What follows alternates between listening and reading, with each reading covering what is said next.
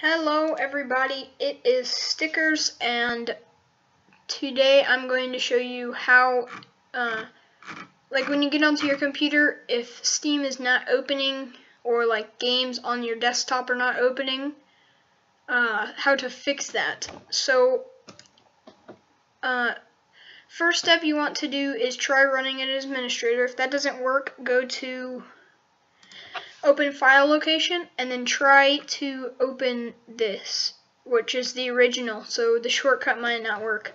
If that doesn't work then you go up to see this right here. Uh, you only have this one. You want to make it this one and then next time you open steam it'll uh, it'll add this one. So um, once you do that, try it. If it still doesn't work, then this is the last thing you do. And I had to do this the other day. Um, actually, I don't know if it's here. Oh, yeah. Um, there will only be one Steam thing, but it'll be this one. It'll say Steam Client Bootstrapper. And you just want to close that and then X out of Task Manager. And then uh, open Steam and it will open. If it doesn't, I have no clue what to tell you. Uh,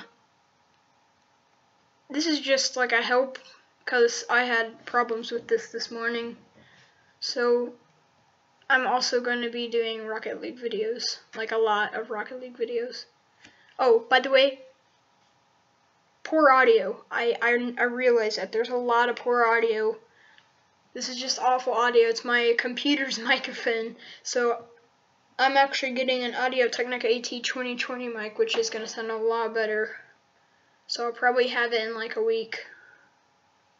So, see you guys later.